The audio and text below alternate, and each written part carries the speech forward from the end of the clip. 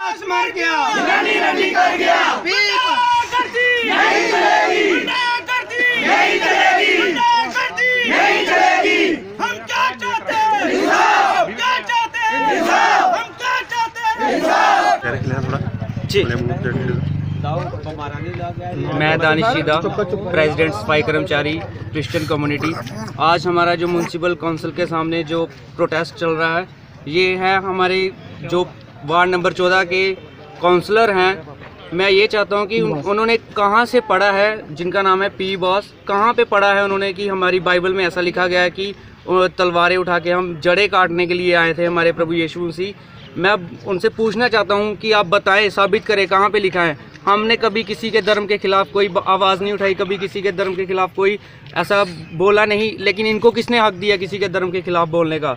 मैं ये चाहता हूँ कि काउंसलर जितने भी हैं और हमारे प्रेसिडेंट, जिन्होंने आज मैंने सुना यहाँ पे धक्की मुक् धक्का मुक्की भी की है हमारे लोगों के साथ, इन्हें बुलाया जाए और सबसे, सबके सामने मीडिया के बीच में माफ़ी मांगे और हम ये चाहते हैं कि वार्ड नंबर जो चौदह के उम्मीदवार हैं, पी बॉस जी वो इस्तीफ़ा दें। हम प्रशासन से यही मांग करते हैं कि हमें, हमारा जो भी इन्होंने धर्म धर्म के खिलाफ बोला गया है नहीं तो हम उग्र प्रदर्शन करेंगे तो हम स्ट्राइक पे जाएंगे हम ये चाहते हैं कि ये इनसे इस्तीफ़ा लिया जाए और ये हमारे लोगों के बीच में आगे मीडिया के सामने माफ़ी मांगे ਅਸੀਂ ਨੇ ਕੀ ਪੁੱਛਣਾ ਚਾਹੁੰਦੇ ਆ ਵੀ ਜੇ ਸਾਡੀ ਬਾਈਬਲ 'ਚ ਇਹ ਬਾਣੀ ਲਿਖੀ ਦੀ ਹੁੰਦੀ ਜਾਂ ਇਹ ਕੁਝ ਲਿਖੋਏ ਦਾ ਹੁੰਦਾ ਤੇ ਉਹਦਾ ਜਿਵੇਂ ਸਾਡੇ ਪਾਸਟਰ ਨੇ ਚਰਚਾਂ ਦੇ ਉਹ ਵੀ ਬਿਆਨ ਦੇ ਦੇ ਸਕਦੇ ਇਹ ਕਿਉਂਕਿ ਸਾਡੀ ਬਾਈਬਲ ਦੇ ਵਿੱਚ ਸਾਡੇ ਪ੍ਰਭੂ ਯਿਸੂ ਮਸੀਹ ਨੇ ਐਸਾ ਕੋਈ ਲਫ਼ਜ਼ ਨਹੀਂ ਬੋਲਿਆ ਵੀ ਜਿਹੜੇ ਇਹ ਲੋਕ ਇਹਦੇ ਦਿਲਾਂ 'ਚ ਗਲਤਫਹਿਮੀ ਹੈ, ਵੀ ਸ਼ਾਇਦ ਇਹਦੇ ਜਿਹੜੇ ਇਹਦੇ ਪ੍ਰਮਾਤਮਾ ਜਾਂ ਇਹਦੇ ਭਗਵਾਨ ਹੋਏ ਨੇ, ਉਹਨਾਂ ਨੇ ਕੁਝ ਗਲਤ ਬੋਲਿਆ।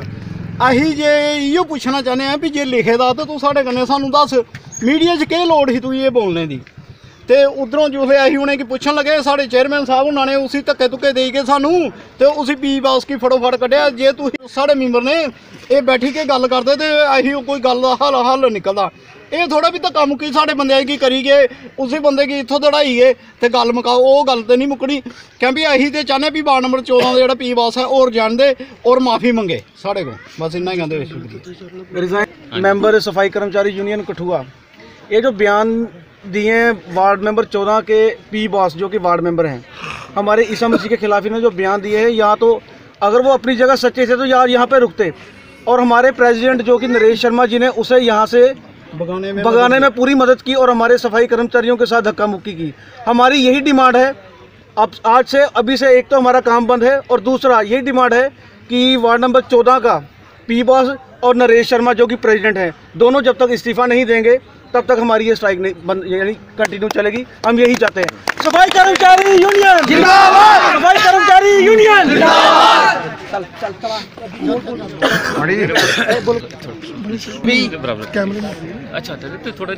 मैं आखना चाहना कि जरा पी बास है वार्ड मैंबर तो बनी है कोई खुदा नहीं बनी है मैं दस दिना इसी कि कि'यां सामने आए ते जिसने इसी जुत्ती फेरिए दसना ਇਸ ਬੰਦੇ ਕੀ ਦੱਸਣਾ ਕਿ ਭਗਵਾਨ ਦੇ ਖਿਲਾਫ ਕਿੰਨਾ ਬੋਲਦੇ ਨੇ ਸਾਹਮਣੇ ਆਏ ਫਿਰ ਇਸੇ ਦੱਸ ਗਏ ਕਿ ਕਿੰਨਾ ਉਹਨਾਂ ਦਾ ਸਾਡਾ ਕੰਮ ਨਹੀਂ ਸਟਾਰਟ ਹੋਣਾ ਜਿੰਨ ਚੱਕਰੇ ਦਾ ਅਸਤੀਫਾ ਨਹੀਂ ਹੋਗਾ ਕੰਨੇ ਦੱਸ ਗਏ ਨਰੇਸ਼ ਕੁਮਾਰ ਸ਼ਰਮਾ ਜਿਹੜਾ ਚੇਅਰਮੈਨ ਬਣੇਗਾ ਚੇਅਰਮੈਨ ਬਣੀ ਦਾ ਜਾਂ ਡੀਸੀ ਬਣੀ ਦਾ ਜੱਜ ਬਣੀ ਦਾ ਹੈ ਹਾਂ ਮੈਂ ਸਿੱਧੀ ਗੱਲ ਤੁਹਾਨੂੰ ਦੱਸ ਦਿੰਦਾ ਕੋਈ ਨੇ ਕੰਮ ਨਹੀਂ ਕਰਨਾ ਜਿੰਨ ਚੱਕਰੇ ਬੰਦੇ ਦਾ ਅਸਤੀਫਾ ਨਹੀਂ ਹੋਗਾ ਤੇ ਨਰੇਸ਼ ਕੁਮਾਰ ਸ਼ਰਮਾ ਮਾਫੀ ਨਹੀਂ ਮੰਗੇਗਾ कैसे तो कम की। क्या क्या शब्द बोले किस प्रकार के शब्द बोले उन्होंने आपके इन्होंने बोला धर्म के है कि खिलाफ? हमारे जो प्रभु यीशु मसीह है वो जगत में आए थे तो तलवार लेके आए थे वो इन लोगों को मारने के लिए।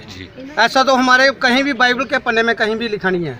तो जी। इनको चाहिए कि ऐसा नाम शनाप ना बोले। ये धर्म के खिलाफ- धर्म के खिलाफ है। हाँ धर्म के खिलाफ है। ऐसी बात कभी बर्दाश्त नहीं होगी। ये बात यहीं बात पे है। यहीं पे खत्म हो जानी थी अगर नरेश शर्मा उसको ना भगाते यहाँ से। अच्छा अच्छा वो भगा के ले गए। हाँ भगा के लेके धक्का मुक्की की हमने। धक्का मुक्की की लेडीज़ साडी लेडीज़ ईसाई बरादरी। जिंदाबाद। ईसाई बंद कर बात कर।